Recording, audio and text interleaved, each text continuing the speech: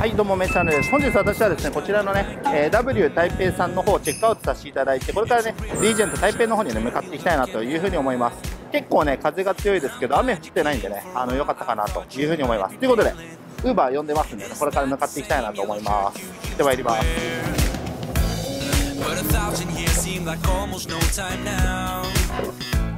This guitar right here, do you still remember how?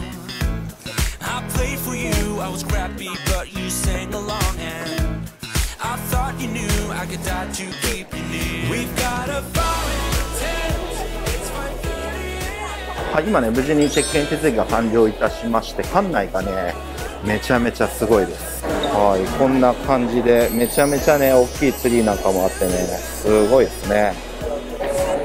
はい、ショップね、入ってるショップなんかもすごくね、ハイブランドもありますけど、これおしゃれですね。こちらにはね、パイナップルケーキのお店も入ってるみたいですね。はい、ということでですね、無事にチェックインがね、完了いたしまして、鍵がね、めちゃめちゃ面白い感じですね。じゃあ、これでお部屋の方に向かっていきたいと思います。はい、えー、っとね、16階の方にね、到着いたしまして、本日ね、1606。結構なんかね、雰囲気がある感じですね。廊下はね、めちゃめちゃ広い。でもすごいシックな感じというか、なんだろう、すごいですね。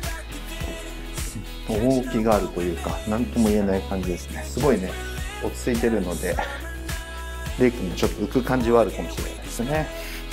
はい。さて、お部屋が1607。本日は、こちら1605、1606が、どこだ？こちらですね。この角。すごいね、暗くてね、防湿が見えづらいんですが、こちら。はい。はい。こんな感じのね、お部屋。さあ、電気は、どこでつけられるんでしょう？はい、あ、つきました。おー、すごっ。うん、オレンジとリンゴ置いてあった。はい。まあ、こんな感じのね、えーホテル。あー、すごいね。やっぱ落ち着きがかなりありますね。すごい。そして、レイ君がね、今興奮してるオレンジとリンゴがね、あるという感じですね。はい。じゃあちょっとね、玄関の方に戻って、えーちょっとね、見ていきたいと思いますけど、本日のお部屋はですね、エレベーターホール出て、こっち側のね、この1606というね、お部屋となってます。で、入っていただいてね、右手、コネクティングできる感じですね。椅子になってますけど、扉があるんで、多分ね、コネクティングできるような感じとなっております。そして、収納があるんですけど、まず左手ですね。はい。洗面台とか、バスタブ。バスタブめちゃめちゃでかい。すごい。こんな感じのね、バスタブタオルがあって、はい。こんな感じのバスタブ。まあね、すごい、なんだろう、バブリーな時にできたやつなのかな。すごい感じしますね。で、コンセントがあって、220V のコンセントもね、ありますね。で、アメニティ類ですけど、こんな感じのトロピカルマグノリア。はい。ローションとかね、ございます。歯磨き粉。海外のね、この歯磨き粉結構個人的には好きなんですけどね。そして石鹸とかね、グラス、洗面。はい。こんな感じの洗面。そしてお水。お水がなんか面白いですね。リージェント平べったい感じ。450ml。こんな形のね、お水となってます。で、これドライヤーですね。もう、コンセントに刺さってますね。すご。こんな感じの、えードライヤー。意外とちっちゃいテスコム製のね、えードライヤーとなっております。そして、えーこちらに別でね、シャワーブースがありまして、はい、こんな感じ。すごい大きいね、ボディあのソープ、そしてシャンプー、はい。で、コンディショナーがあるという感じですね。お水は、はい。まあ、水圧、優しい感じですが、まあ十分かなという感じです。レインシャワーはね、特段ありません。ハンドシャワーオンリーという感じですね。で、お手洗いがね、こういう風に、ウォシュレットにはなってますけど、まあ、こちらも、そのままね、あの、流していただくことができる感じになってますね、お手洗い。はい。そして、こちら、正面がですね、電気つきました。えー収納スペースとか、セキュリティボックス、えーセーフティボックスが、えーございます。ハンガーとかね、ウッドの感じで、いい感じですね。そして、はい、えースリッパございます。で、靴べらとかシューブラシがあって、はい、えーあ、バスローブがね、こんな感じで入ってるんですね。袋に入ってる。館内でのみご利用いただけますということでね。はい。バスローブ、L サイズのね、バスローブが2つありますね。はい。で、こちら側も収納ですけど、まあね、扉が分かれてるだけという感じです。で、こちらの方にもお水とグラス類があって、えー電気ケトル、コンセントがね、こちらにあります。そして、マグカップとワインオープナー、そしてお茶とかね、コーヒーですね、ネスプレッソマシンとかそういったものはね、こちらの、えープレミアムルームには特段ないという感じでございます。下は冷蔵庫でしょうかね。冷蔵庫は、まあ、冷えたね、お水が2本入ってるといった感じでございます。はい。で、えーこちらですね、リビング入っていただいて椅子みたいな感じもありますし、えーテレビ、まあ、結構ね、大きいテレビですね。そして、ああ、いいですね。使いやすそうな感じのね、テーブル、デスクとなってます。えーコンセントがね、2箇所。220V が1箇所と 110V が1箇所。そして LAN ケーブル HDMI と、えーこちら USB-A が2箇所という感じですね。これはね、ライブとかしやすそうな感じします。そして、はい、引き出しは空ですね。そして、はい、こういったチェアがあって、リンゴとオレンジ、早く食べたいのはい、食べたそうです。はい、そしてね、ベッド、キングサイズのベッドがこのようにありまして、えー、とベッドのサイドの方にはコンセント 110V が1箇所と USB-A が1箇所。はい。反対サイドも、えー同じ感じでしょうかね。はい。こちら USB-A が1箇所と 110V の、はい、コンセントが1箇所という感じでございます。で、ここら辺がエアコン。結構なんか難しそうな感じですね。あ、でも強弱、オンオフ、ヒート、クール、そして温度っていう感じでシンプルですね。はい。本日はね、こちらのお部屋にえー一泊させていただくという感じでございます。眺望はどうなんですかね？まあ、市街地という感じで、ね、公園が見えたりしますけど、すごくね、いいっていう感じではないかなという感じです。はい。こんな感じのところに本日はね、一泊させていただきます。いかがでしょうか？はい。ということでね、Wi-Fi 接続しましたので、速度測っていきたいと思います。行ってみましょう。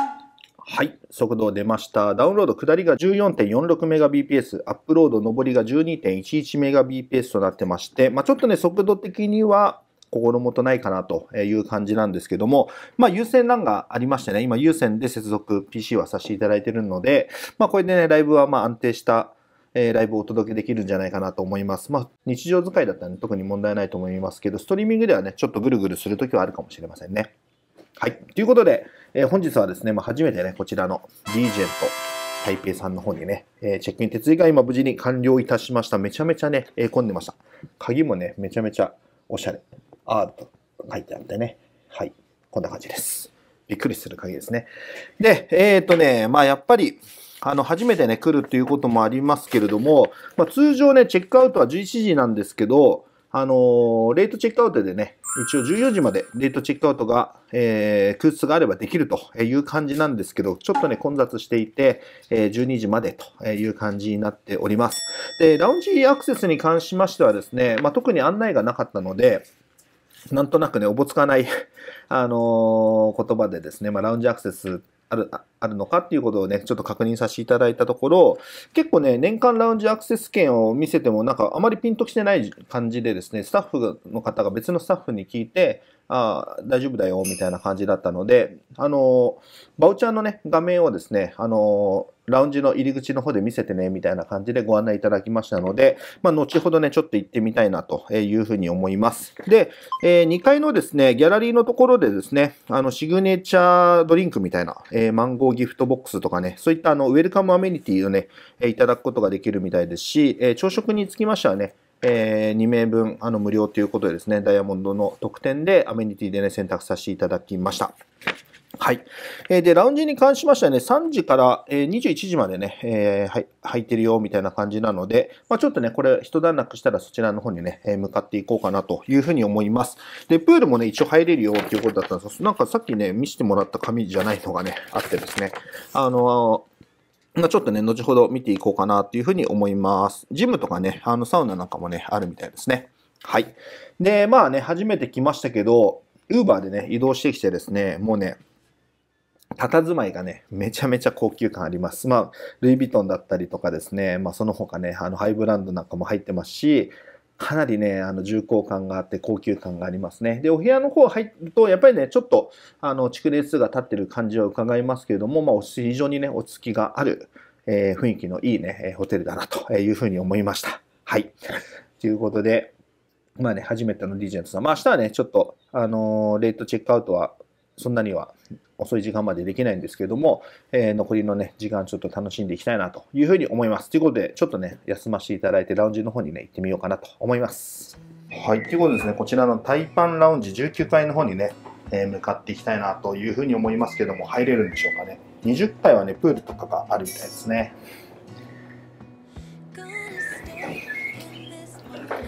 はい、19階でございます。ラウンジはね、左手ですね。行ってみましょう。はい、今ね、えー19階の方にラウンジに行きましたけども、年間アクセスのね、ラウンジ券につきましては、5階のね、ラウンジの方で、入れるよということの案内がありました。はい、残念。ということで、えー先にちょっとね、プールとか見たいなと思うんですけど、どうしましょうかね。ちょっとじゃあ、上のね、プールの方見ていきたいなと思います。はい、めちゃめちゃいい匂いですね。これスパとかがね、こんな感じですね。で、プールはこの上なんですけど、見れるんでしょうかね。ちょっと行ってみたいなと思います。はい、プールこんな感じですね。結構ね、泳いでるんで、戻っていきたいなと思います。結構ね、ちっちゃかったですね。はい、ということで、仕切り直して、こちらのね、バルコニーラウンジの方に向かっていきたいなと思います。ここはね、やっぱり、ラウンジがね、3時から、えー21時、15時から21時なんですが、ここはね、ひょっとすると、ホームページにも記載がある24時間ね、入れるのかもしれないですね。結構違いがありますね。はい、ということでね、アフタヌーンティーがあるみたいですね。こんな感じで、ね、全部美味しそうですね。はい、こちらね、ハーゲンダッツまでね、置いてありますね。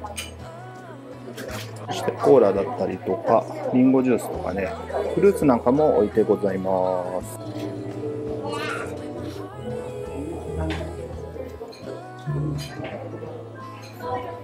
はい、ということでね、こんな感じで持ってまいりました。めちゃめちゃね、種類、思ったよりね、あってすごいですね。はい、じゃあ、レイ君、食べてみますか。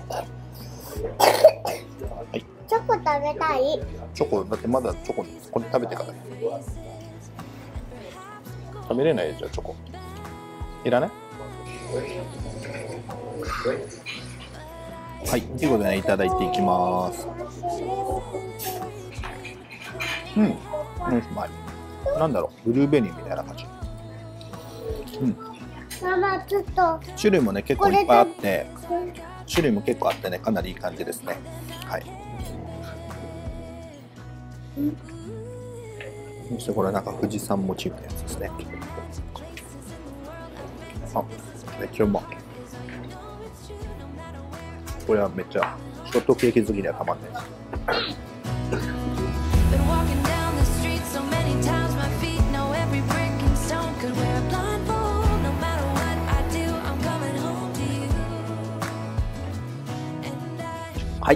ごちそうさまでした。めちゃめちゃね、えー美味しかったです。もう見ていただいてお分かりの通りね、結構ね、一つ一つがクオリティが高い。めちゃめちゃ美味しかったです。あとはね、ちょっと今回はあれ入れなかったんですけども、多分エクゼクティブラウンジはエクゼクティブフロアの方じゃないとね、19階のラウンジ入れなそうなんですけど、あそこがね、またすごく良さそう。なので、えー年間ラウンジアクセスの場合は5階のね、あのバルコニーラウンジっていうのかな。あそこしかちょっと入れないような状況なんですけど、まあそこでもね、正直十分満足ですけど、さっきね、19階覗いたところ、もう入り口がね、もう重厚感すごい感じだったので、期待大ですね。今度はね、あそこ行ってみたいなというふうに改めて思いました。で、あとね、あの30分ぐらいでカクテルタイム始まりそうな感じになったんですけど、あそこでね、食べてしまうと、あの地元のものね、ちょっと食べれなそうなので、今日はね、ちょっと遠慮させていただいて、これからですね、ちょっと夜市の方にね、あの、出向いていこうかなというふうに思います。ということで、ちょっとね、休んで、準備整えたら夜市の方にね、向かっていきたいなと思います。はい、とりあえずですね、今、ウーバーの方でですね、シーリンの方にね、移動してきまして、これからね、えちょっとね、散策していきたいなと思います。結構ね、めちゃめちゃ人多いですね。いい感じです。ということで、やってまいりました。結構ね、人多くてね、賑わってますね。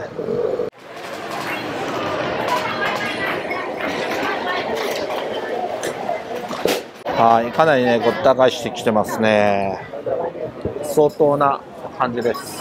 はい、このね、エリンギがね、めちゃめちゃ美味しいらしいですね。はい、もうお店のマークもね、エリンギなんですよ。まあ食べてみたいですね。はい、これ、ね、エリンギの列が半端なかったです。ちょっとね、頑張って並んでみたいと思います。はい、ということでね、これ、リーグアチョウっていうね、芋をね、揚げたやついただいていきたいと思います。今、あいにくの雨がね、降ってきました。うん。もちもちして、美味しい。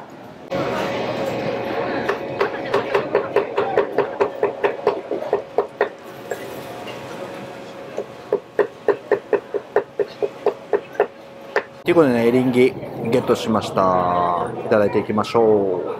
はい、ということで、エリンギゲットしましたね。いただいていきます。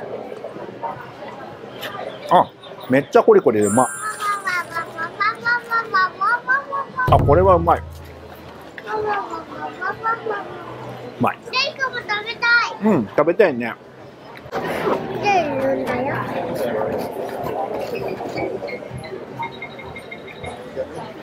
美味しい？くだい。はい、こちらね、胡椒餅でございます。これはね、ちょっといただいていきたいなと思います。ね、美味しそうだね。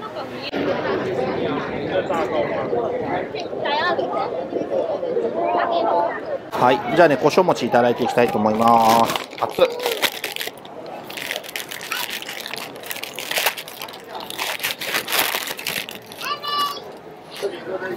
うん。ああ。熱い。うまっ。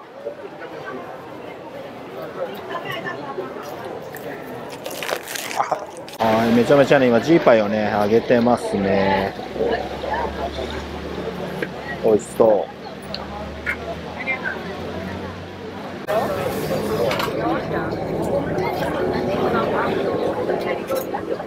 揚げたやつをタレをねつけてですねもう一回ね焼いてるみたいな感じですねはいめちゃめちゃ美味しそうはいということでねゲットできましたんで食べていきたいと思いますめっちゃ熱いうん。うまっ甘辛で。めっちゃうまい。うん。これは並びますね。これでね90元。うんと400円ぐらいなのかな。はい。じゃあね、これいただいて、ホテルの方に戻っていきたいと思います。うまっ。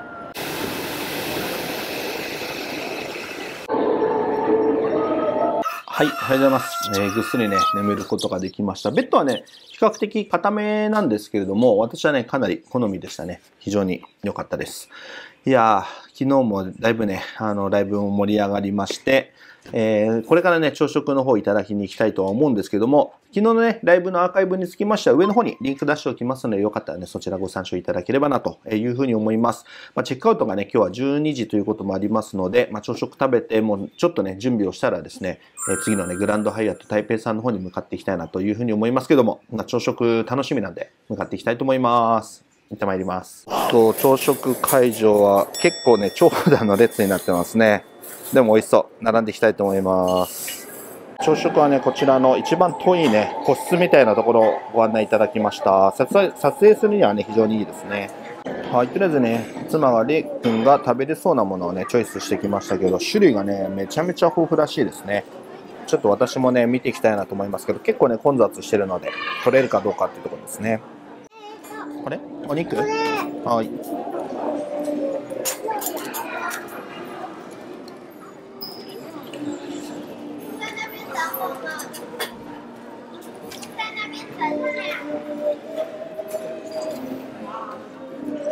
味しい？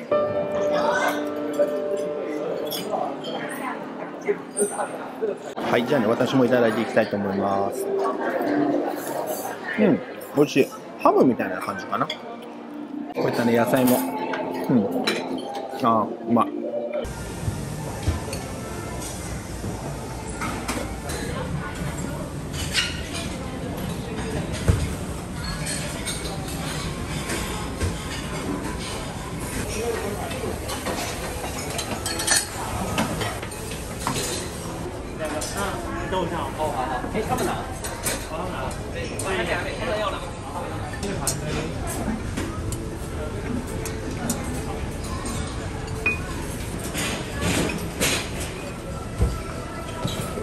はい、続いてね、こんな感じで、コンビーフみたいなハムとかね、ウインナー。はい、そしてね、トウモロコシだったりとか、まんじゅうとかがね、ございます。はい、終了間際ということでですね、もうね、片付けられてしまって、初めてましたので、バッとね、持ってきちゃいましたけど、結構な量ですね。ちゃんとね、残さずいただいていきたいなと思います。はい、ということでね、いただいていきたいと思います。さあ、てんやわんやしましたけどね。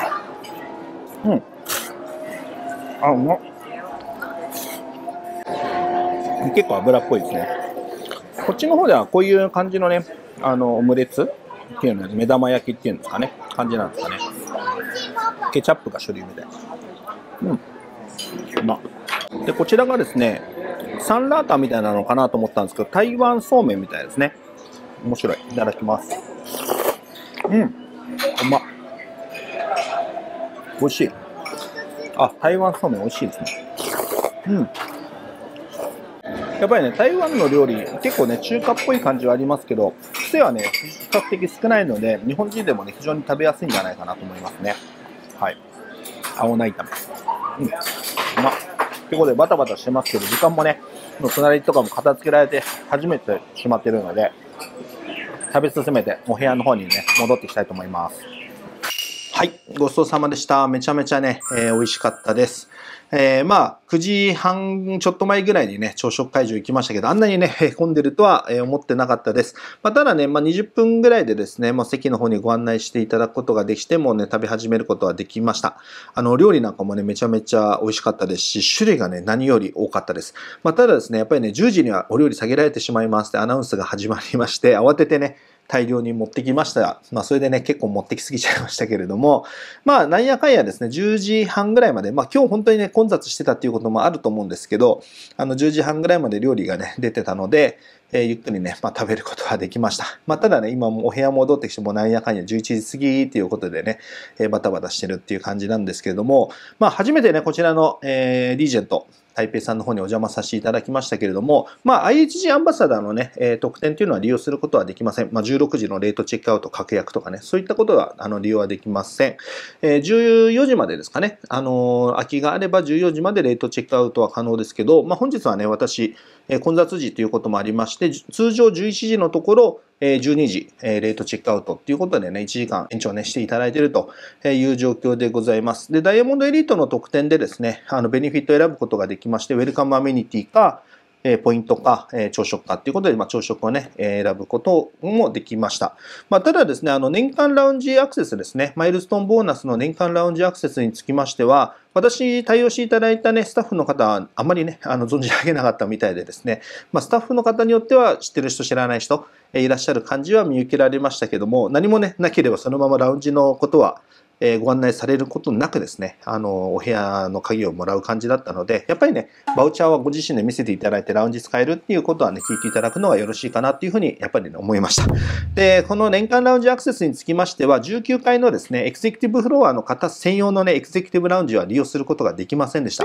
めちゃめちゃね、雰囲気良さそうで、中ね、ちょっと見ることできなかったですけど、まあ、次回ね、機会があればそちらもね、使ってみたいなっていう感じなんですけど、まあ、5階にありますね、えーバルコニーラウンジっていうところがありまして、まあ、そちらの方でですね、まあ、スイーツだけあの利用させていただきましたけれども、ティータイムでね、あのスイーツはめちゃめちゃ美味しかったです。あの、ハーゲンダッツも食べ放題でしたしね、あの、非常に良かったです。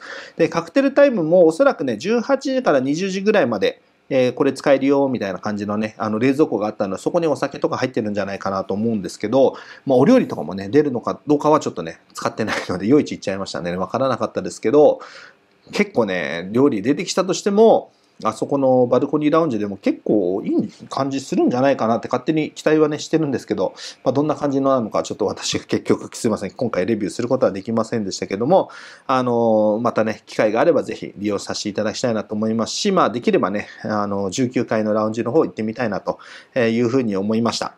で総じてですねこちらのリージェント台北さんですけどもやっぱりね高級感があって日本でいうとそうですね、帝国ホテルさんだったりとか、まあ、ペニンシュラ東京さんだったりとか、なんかそんな感じのね、趣があって、重厚感があって、かなりね、えー高級感がある、えーホテルの、えー部類なのかなという感じはありました。まあ、お部屋は入るとね、やっぱり築年数相応の部分っていうのはやっぱりありますけれども、まあ、それでもね、あのサービス面では非常にいいです。で、結構ね、あの元旦に宿泊させていただきましたけども、日本人旅行客の方も結構いらっしゃって、えーこちらのね、電話機なんかにも日本語対応サービスみたいなボタンがあって、日本語でね、えー対応いただけるスタッフの方が出るボタンがあったりとか、まあ、日本語対応チームなどもね、このリージェント台北さんありますので、あの日本人の方でもやっぱりね、安心してね、利用していただけるホテルなんじゃないかなっていうふうにね、えー思いましたので、ぜひね、ご検討の一つに入れていただければいいんじゃないかなというふうに思います。で、まあ、IHG グループのね、ホテルで言えばですね、まあ、あの、結構重厚感はありますけれども、まあ、新しいホテルがやっぱりいいなっていう方につきましては、えーそうですね、ホテルインディゴ、えー台北さんとか、あの、キンプトンさんとか、まあそういったホテルもね、えー選択肢の中に入るのかなと思いますんで、まあ比較していただいてね、どこを取るか、ラウンジを取るのか、やっぱり新しいね、え設備的なものを取るのかっていうので、チョイスしていただくのがいいんじゃないかなというふうに思いました。はい。えーで、今ね、11時20分であと40分ぐらいでね、もうチェックアウトしなければ、いけないという感じなんですけども、あの10時59分にはね、次行く、えグランドハイアット台北さんの方からね、もうお部屋の準備できましたよってアプリ、そっち来ましたので、あの、心置きなくね、12時にチェックアウトして、えこれからね、グランドハイアット台北さんの方に向かっていきたいなというふうに思います。ということでね、え今回の動画に関しましてはこちらで以上とさせていただきたいと思います。この動画がためになった、参考になった、面白かったよという方はぜひね、高評価ボタンとコメント、気軽に残しておいていただければ幸いです。概要欄下の方に私、Twitter、LINE、Instagram やってまして URL の方貼ってありますので、ぜひ合わせてフォローチェックよろしくお願いいたします。